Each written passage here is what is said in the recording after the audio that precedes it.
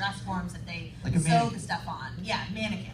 You're like a mannequin. So how you make a duct tape dummy is you, you wear clothes you don't like, like a long sleeve shirt and some sweatpants, but sweatpants are awesome. I had to find like a terrible pair of sweatpants in order to rip up. I felt I was like crying when I was cutting it up. Anyway, um, so you have a friend and they wrap you up in duct tape, and then after you're you're you're covered up in duct tape, um, your whole body you gotta have somebody cut you up because you can't move. You're so stiff. Again, you're like Ralphie from uh, Very carefully. Have an adult. Yeah, having a adult. When um, my brother and uh, his ex-girlfriend were cutting me out of my duct tape dummy, they cut into my underwear, so I had to hop out in the nude. I was like, dude, you cut into my underwear. It was my favorite pair. I was wearing Batman boxers like an adult. I know, then, I know, then you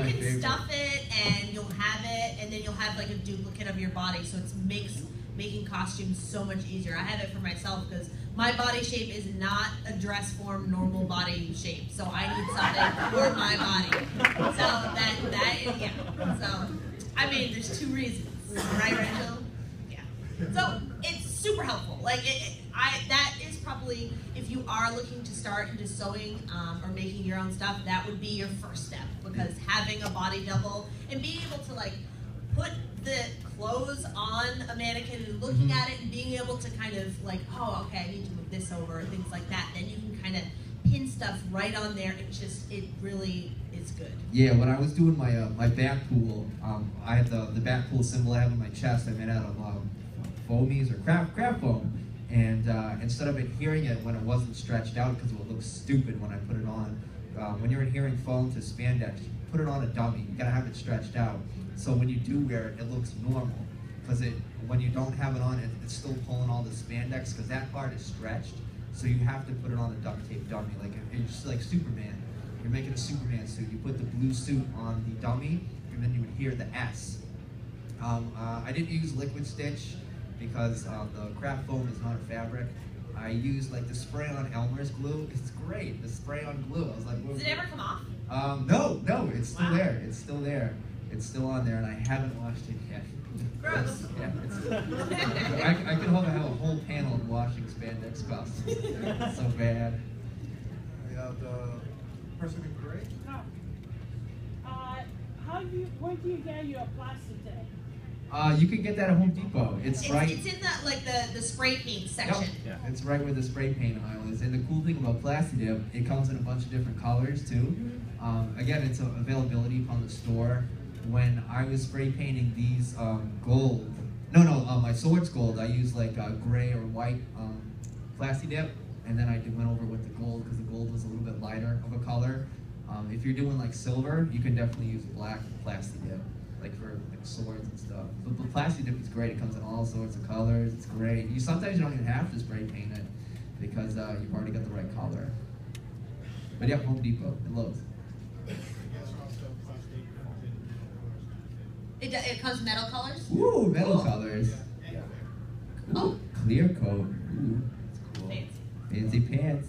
Uh, Hawkeye. Do you have any tips for making weapons that look really cool but can defy conventional security? Yes. yes. So okay, so mainly at cons, if you're if you're doing guns, um, making sure that you have the orange tip. That tends to be the Just a tip. yeah. So I mean, this this kind of has. I mean, this looks super fake, but there are some guns that, that really look real. It looks Um, super fake. it looks like super from a space movie. but but I mean, and it, it is for safety and knowing that. Um, but making sure you do have the orange tip for guns and stuff is really important. Um, but if you're doing something like arrow tips, um, I think making sure you have rounded edges or things like that can usually get through security fine. Um, making things that look like real metal. Uh, there's awesome, like if you do more of like the mold technique, um, they have like actual metal powders that you can add into the resin and you kind of buff it out and it looks like it's real metal. Um, I, I think uh, Fev Props does um, a really great tutorial on YouTube about it. Um, but yeah, there's all kinds of ways to re- really make things look um, like metal, but always making sure if you are crafting a costume, like you can't have super sharp edges. You just can't. Like even this, like it looks really sharp, but it has more of like a rounded edge. It's, it's not gonna like pierce through somebody, and it's and it's not like super thin. So, um, yeah, A lot of people um, with weapons, they like to use airsoft guns, and again, that's like Yeah. convention by convention. Some will some allow don't it. allow it. Yeah. Katsucon um, allowed uh, airsoft guns, but they didn't allow Nerf guns, which confused me. Yeah, it, it, I was like, that was kind of ass backwards. are like they the staff doesn't always know the rules so they Oh. enforce different things which can be confusing for a con goer but always make sure if you are bringing um, props and stuff like that the website for the con will always have their rules on there and if they don't then contact them um, but I used to bring um, the wooden katanas for my Deadpool, but one of the conventions wouldn't let me come in. Be- I like I think it was Anime Boston one year. They wouldn't let me in, and I just had like the training wooden katanas, and I'm like they're they're not real weapons. They're, they're it's wood, and I'm not even gonna be taking them out. But after that, I was like I gotta stick with the foam ones because I want to go into the con, but I also want it to look cool too. So you kind of like. You gotta make a sacrifice and then you can always you like if you want to do shoots you can have the metal weapons. You Yeah. can have the real things for off-site shoots.